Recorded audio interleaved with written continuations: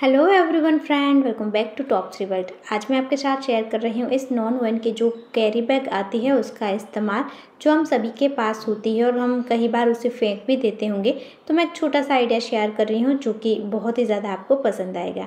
तो मैंने एक खाली ऑयल का बोतल भी ले लिया है तो चलिए हम शुरू करते हैं आज का वीडियो। तो सबसे पहले क्या करना है, आपको जो ऑयल का बोतल हमने लिया है, उसके यहाँ ऊपर वाला जो हिस्सा है, उसे हम कट करके निकाल देंगे।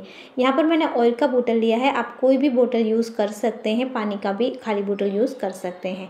तो बोतल को कट करने के बाद मैंने कैरी बैग ले ली है और इसे देखिए, इस तरीके से इसका जो प्लेन वाला हिस्सा है, उसको मैं लूँगी। तो आपके पास अगर प्लेन बैग है तो आप उसका यूज़ कर सकते हैं। मैंने यहाँ पर ब्लैक और येलो दो कलर यूज़ करे हैं, आप अपनी पसंद के कलर यूज़ कर सकते हैं। अब इस तरीके की पतली पतली सी स्ट्रिपें हमें कट करनी है इसके अंदर से। तो देखिए, इस तरीके से आपको कट करनी है और फिर इसे कट कर लेंगे बीच से तो छोटी छोटी स्ट्रिपें बना लेंगे। तो दोनों में से मैंने इस तरीके से दो कलर की स्ट्रिपों को रेडी कर लिया है। अब इसका मेज़रमेंट मैं आपको दिखा दूँ तो इसकी लंबाई मैंने ली है थ्री इंच और चौड़ाई है इसकी हाफ़ इंच तो इस तरीके की स्ट्रिपें आपको ढेर सारी रेडी कर लेनी है। अब इस स्ट्रिप को इस तरीके से हम फोल्ड करेंगे, इसे मोड़ कर रखना है और यहाँ पर हम ग्लूगन से इसे चिपका देंगे।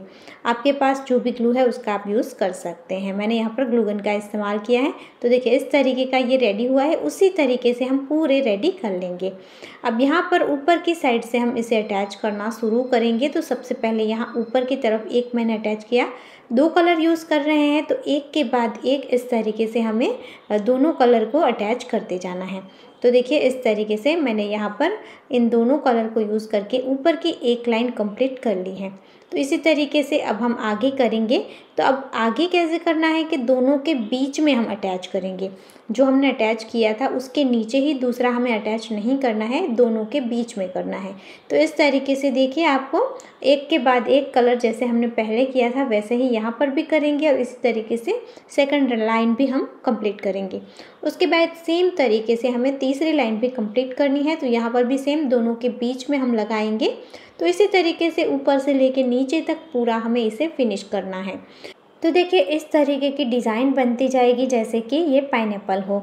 जब मैं छोटी थी ना तो मेरी मम्मी इस तरीके से ऑयल की बोतल पर बनाया करती थी। वो अलग एक डोरी लिया करती थी, इस प्लास्टिक की स्पेशल मार्केट में मिलती थी वो। और इस तरीके से पूरा करने के बाद यहाँ पर नीचे की तरफ़ देखिए हम इस तरीके से ब्लैक कलर की स्ट्रिप का मैंने यूज़ किया है, आप येलो भी कर सकते हैं। तो यहाँ पर इस तरीके से मैंने इसे फिनिश कर दिया है। तो ये पूरा हमारा बनकर रेडी हो चुका है। बहुत ही ज़्यादा सुंदर इसका लुक आ रहा है और ये हमारा प्यारा सा फ्लावर पोट हो चुका है रेडी सो आशा करती हूँ दोस्तों, छोटा सा आइडिया है, लेकिन एकदम फ्री का है और एकदम झटपट बनने वाला है। आपको भी पसंद आया होगा। तो इस तरीके के वेस्ट मटेरियल का इस्तेमाल करके आप प्यारे से डीआईवाई बना सकते हैं। वीडियो आपको पसंद आया है अच्छा लगा है तो लाइक करना, ज़्यादा से ज़्यादा शेयर करना और आप हमारे चैनल पर नए आए हैं तो सब्सक्राइब करना बिल्कुल मत भूलना। फिर मिलेंगे ऐसे ही और यूज़फुल वीडियो के साथ। तब तक के लिए जय भारत।